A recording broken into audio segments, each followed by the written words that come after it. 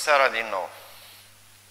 Emisiunea cu numărul 3 la Taclale, prezentată de mine. Um, o să încerc să fiu foarte scurt și concis pentru a nu plictisi.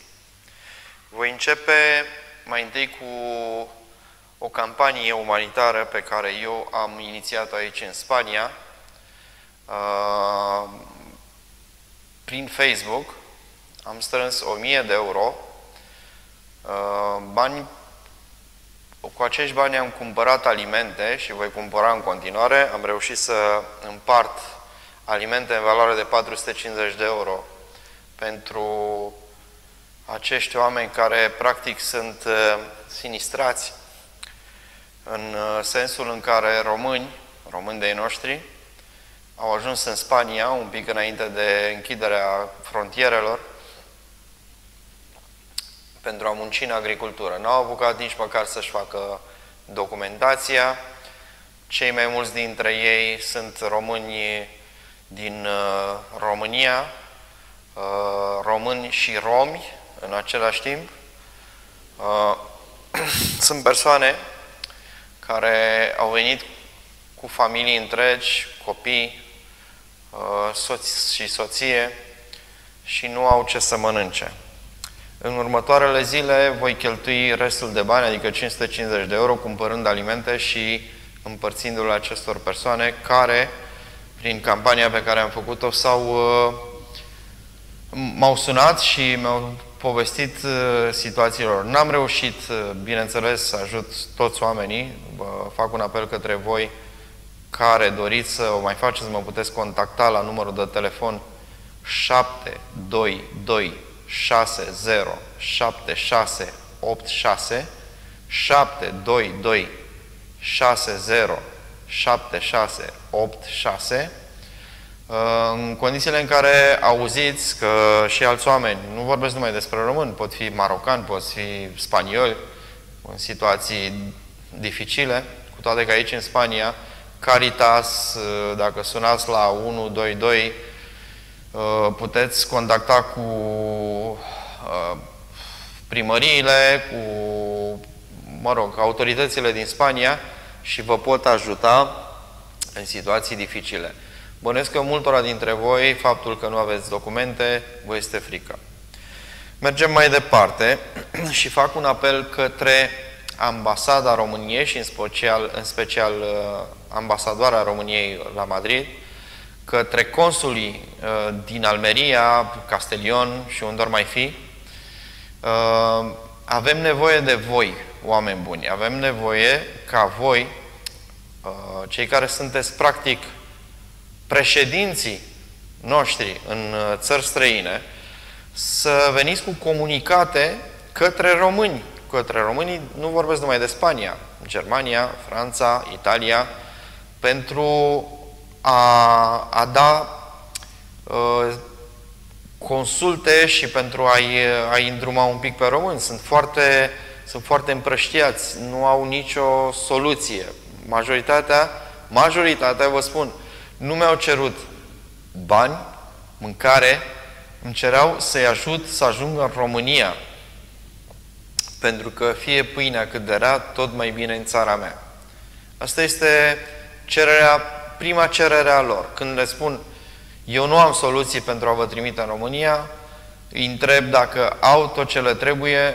Unii mi-au spus cu sinceritate că nu au nevoie de nimic, că sunt ok din punct de vedere financiar, dar nu mai pot suporta situația asta în care stau sequestrați la domiciliu. Și vor în România. Foarte mulți dintre ei, uh, după cum știți, și-au lăsat copii în România. Cei care vin aici în Spania și, în general, care pleacă emigrând peste hotare, vin pentru ceva mai bun. Um, guvernul României este, ne este dator, fac apel la guvernanți, să găsească soluții. Văd că au găsit foarte multe soluții de a trimite în continuare români peste hotare pentru a munci. Uh, chiar ascultam la începutul nebuniei astea, când uh, rom, foarte mulți români erau pe aeroportul, la Cluj, la Iași, nu mai știu pe unde, o femeie îmi spunea, mi-am lăsat serviciul ca să plec și acum își bat joc de mine. Oameni buni, mi-am lăsat serviciul, deci oamenii își, las, își lasă serviciul de acasă pentru a găsi o soluție în străinătate. De ce și-au lăsat serviciul de acasă? Sunt mai multe motive. Nu le satisface din punct de vedere salarial uh, situația familiară, pentru că vor să câștige mai mult sau nu se simt demn în țara lor în serviciile pe care le au. Trebuie să vă gândiți un pic la acest aspect. Uh, lemnul din România, furt sau vânzare? Vreau să vă povestesc despre ce se întâmplă în Spania. Prețul lemnului în Spania, fără TVA, este de 160 de euro, deci mult mai ieftin decât în România. Uh, pun o întrebare către, nu știu, celelalte state, Austria, de ce nu cumpără lemnul din Spania? Și o să vă explic de ce. Pentru că o tonă de lemn, o tonă de lemn în Spania costă 30 de euro, dacă nu este tăiat și preparat ca și produs finit, în butuc, uh, în arbor. Păi, uh, dacă facem comparație cu România, unde prețul lemnului de pin, de exemplu, ajunge la 210 euro, nu prea înțeleg de ce uh, acești comercianți austrieși sau ce alte țări vor mai fi care cumpără lemnul din România, nu îl cumpără și din alte țări. O să aflăm. Cert este că uh, ideea de a, de a vinde lemn nu este o, o chestiune interzisă. Poți vinde lemn pentru că ai. Dacă nu ai avea lemn, nu l-ai vinde. Ideea este că trebuie vândut și în Brazilia se discută despre acest lucru și în alte țări care sunt uh, țări cu, cu păduri foarte bogate în pin în, și alte tipuri de lemn, trebuie vândut preparat, adică cu mână de lucru din România, făcut scândură sau mobilă sau orice alt lucru care determină un, uh, un proces de muncă care dă românilor uh, muncă. Uh, coronavirus, un alt uh, subiect pe care vreau să-l uh, dezbat astăzi. Vreau să vă spun, oameni buni, că în legislația Organizației Mondiale a Sănătății scrie concret se poate declara uh, pandemie atunci când 1% din populația globului ajunge să fie infectată cu un microb sau un virus. Dragi concetățeni, uh, pandemia s-a declarat când numărul uh, celor care au fost infectați a fost de 115.000. 1% din populația globului semnifică 70 de milioane. Acum, 70 de milioane aici și 1% aici. 115.000 de persoane infectate nu reprezintă 1% din, din cantitatea de oameni infectați care ar fi trebuit să determine o Organizație Mondială a Sănătății să declare pandemie. În 2009, atunci când a fost uh, acel virus al gripei porcine, au fost la fel 115.000 sau 120.000 de persoane infectate cu acest virus. Și s-a declarat pandemie, însă nu au fost oamenii încarcelați în case. Aici vorbim despre o cu totul altă strategie și o să zic și o să zic și voi zice mereu, ocultele mondiale pregătesc ceva. Ce?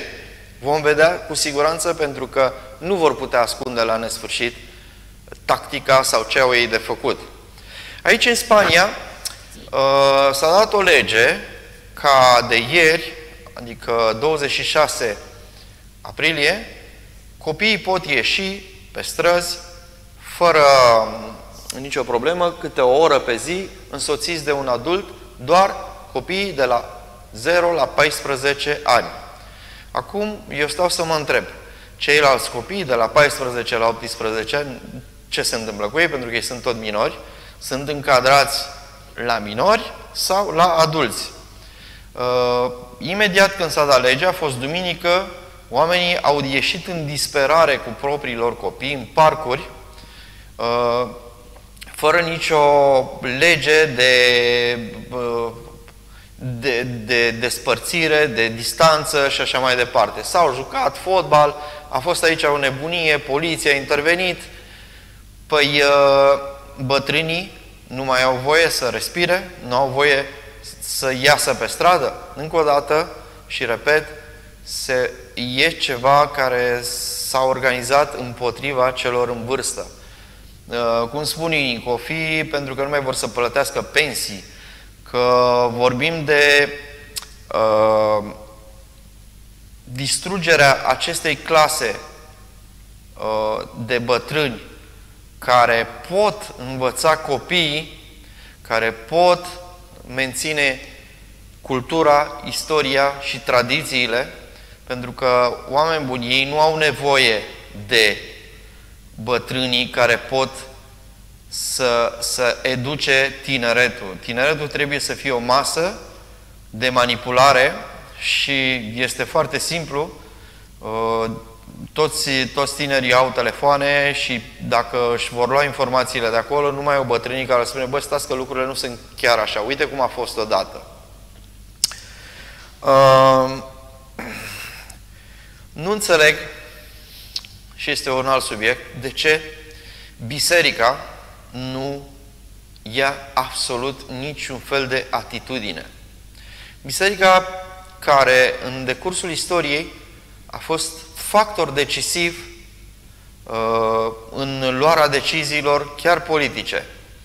Nu înțeleg de ce uh, se consideră că oamenii nu mai au nevoie de spiritualitate sau nu, nu văd ce, ce se poate întâmpla. Uh, dacă lăsăm oamenii să meargă la, la supermarket și s-au creat niște legi concrete, uh, nu pot intra mai mult de atâta număr de persoane, distanța, sunt puse niște semne în fiecare supermarket unde mai mult de un metru jumate nu te poți apropia unul de altul, de ce nu avem voie să mergem la biserică și să păstrăm aceleași reguli de distanțare, dar totuși să, ne, să mergem să ne putem ruga.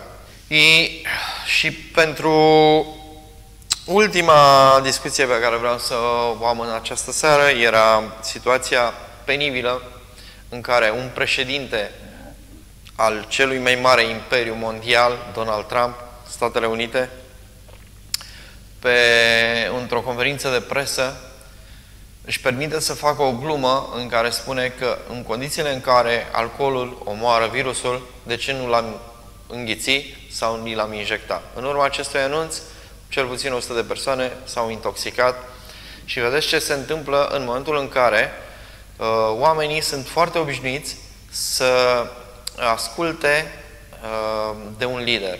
Dacă lider, liderul le dă o informație atât de stupidă încât uh, Oamenii îl pot urma, dar aici avem și ceva interesant.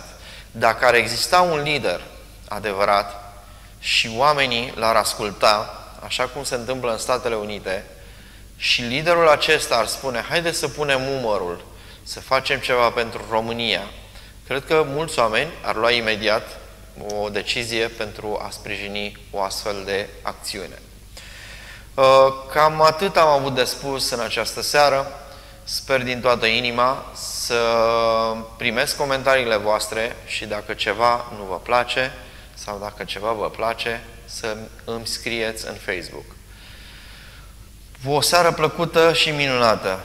Dacă aveți idei, dacă doriți să vă să veniți cu idei și să le și puneți în practică, televiziunea Drăgoi TV este dispusă să vă aloce spații pentru acest, uh, aceste idei.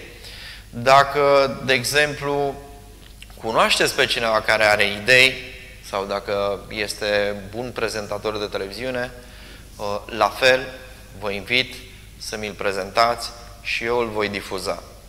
Dacă cu toate acestea uh, vreau să vă spun în realitate că televiziunea Drăgoi TV este o televiziune deschisă tuturor dacă observați lucruri care nu vi se par corecte, eu le pot difuza.